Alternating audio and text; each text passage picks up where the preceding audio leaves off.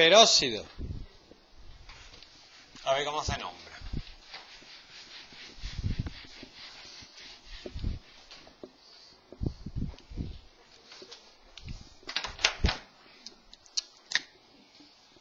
¿Qué?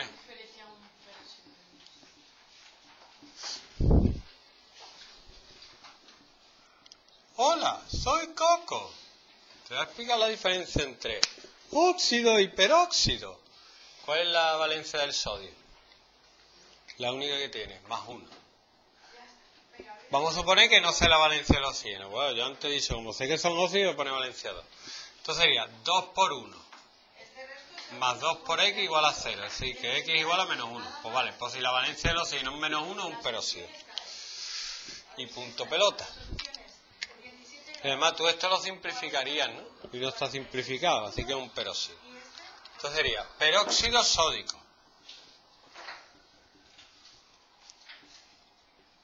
Peróxido de sodio 1. Pero si tienes una valencia no te falta ponerla, ¿no? No. O dióxido de disodio, cosa más fea. Pero el truco está en saber la, en saber la valencia de este. Si es menos uno, un peróxido. Y es que son todos iguales. Aquí hay uno distinto nada más.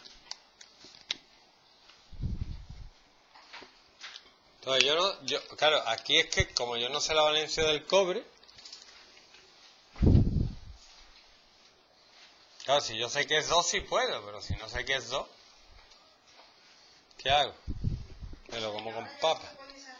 Eso sería peróxido, Los que os he dicho más el 3 y el 4 completos, ¿vale? Venga, toma. ¿Qué, valencia tiene el cobre? 2 y 1, ¿no? ¿Sí no? Peróxido cúprico, peróxido de cobre. 2 o dióxido de cobre. Venga, otro. Peróxido.